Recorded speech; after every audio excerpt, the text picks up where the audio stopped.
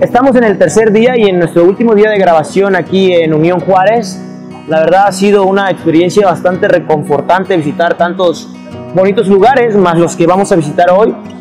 Nos encontramos en el río Monteperla. Atrás de mí se encuentra el puente que también lleva el nombre de Monteperla en honor a este río. Y la tarea de ahorita es hacer unas buenas tomas con el dron. Ah, este paisaje se presta para hacer unas tomas interesantes, pasar el dron por abajo del puente, por arriba del puente. Aquí al ladito hay una pequeña comunidad. A mi otro costado también se encuentra la cascada Monteperla, entonces igual vamos a hacer tomas con el dron y con la cámara que esperemos que queden espectaculares.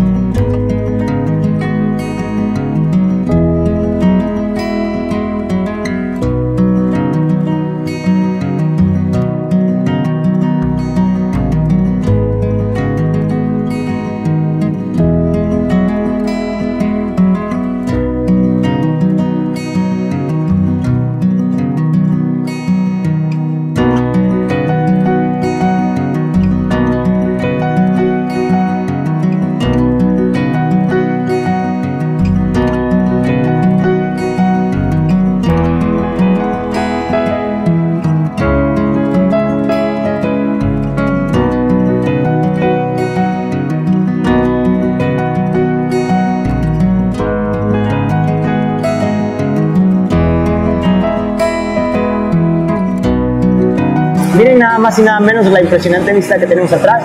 Es la cascada de Monteperla. Ah, este lugar es bastante majestuoso. Eh, el río también es bastante imponente. Oh, es un lugar que tienen que venir sí o sí si están aquí por Unión Juárez. Hicimos unas tomas del dron que salieron espectaculares. Ahorita vamos a tratar de tomarnos una foto ahí en esas piedras. Así que esperemos que todo salga bien.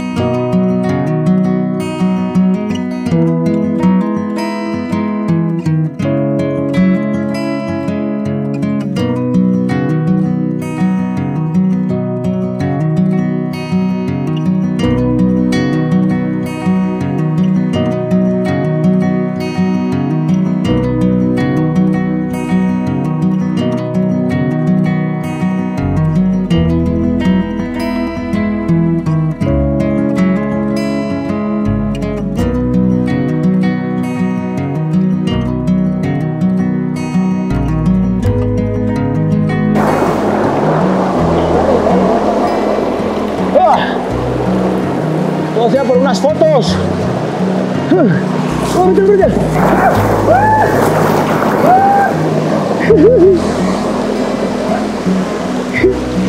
¡Ah! ¡Ah! ¡Ah! ¡Casi muero!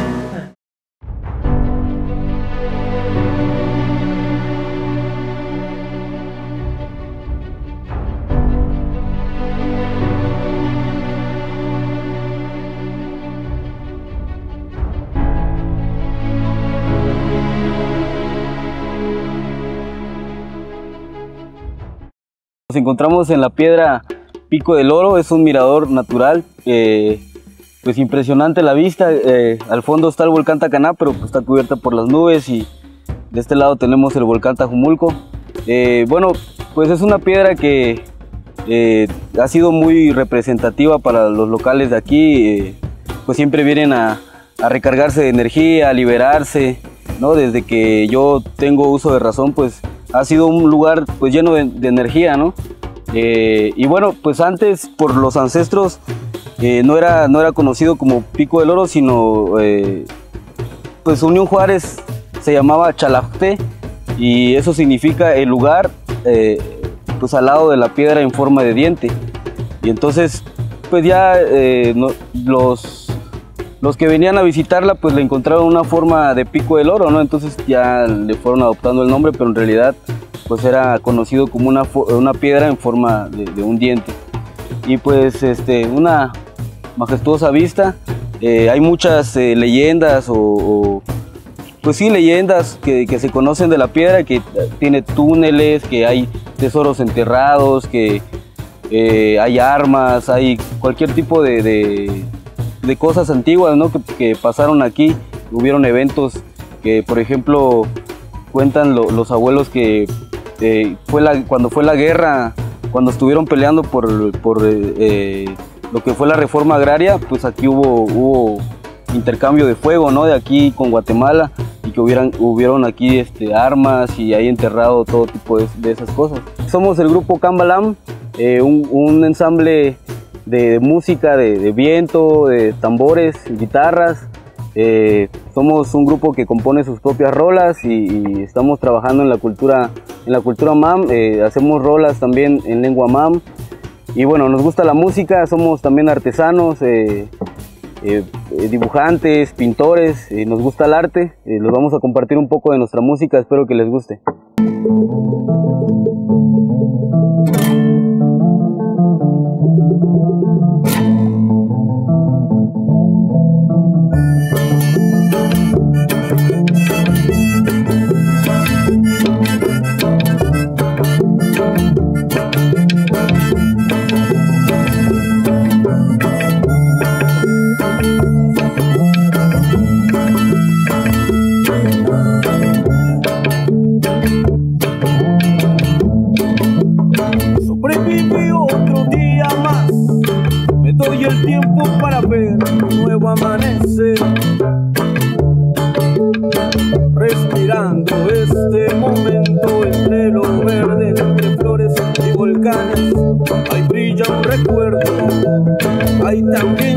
Este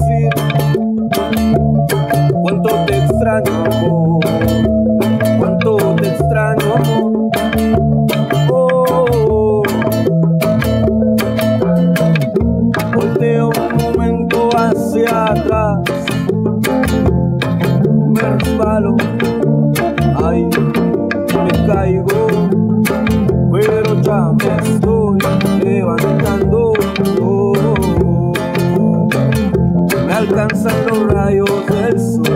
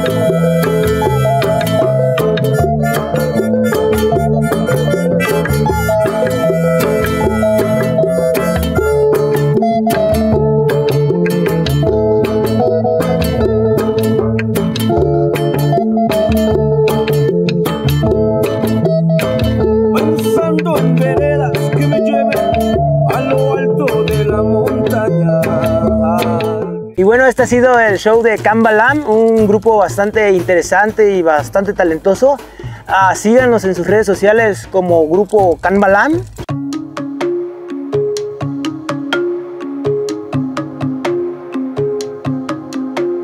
Estamos en la piedra Pashtuda.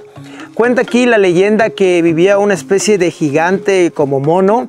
Se supone que esta persona estaba todo lleno de pelo y le decían Pashte. Por eso es que se supone que esta era su cueva. Con el tiempo dicen que falleció y ya no han tenido ningún tipo de información sobre ello. Pero también cuenta la leyenda que en esta cueva habían pasadizos que usaba el señor Brown tanto como para ir a Casa Grande en Santo Domingo y que también de alguna manera conectaba con la piedra de Wixla.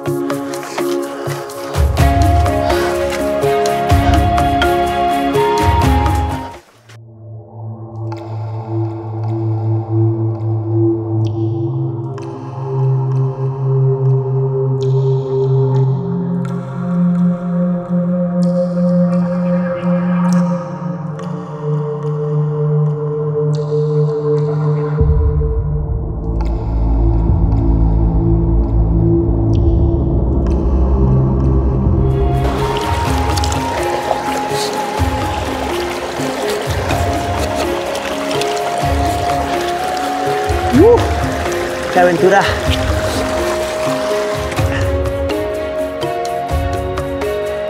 Fue bastante interesante conocer la piedra Pachuda. Ya nos habían contado los guías la historia.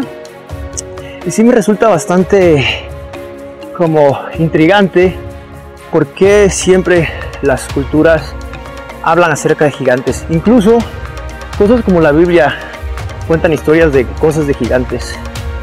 No sabemos obviamente qué tan cierto, qué tan falso puede ser, pero ahí queda. Y como última parada de este día en nuestro viaje por Unión Juárez, estamos afuera del Hotel Colonial Campestre, arriba es la Plaza Colonial, van a tener el evento de la prendida del arbolito para recibir bien la Navidad. Va a ser un evento bastante bonito, así que acompáñenos.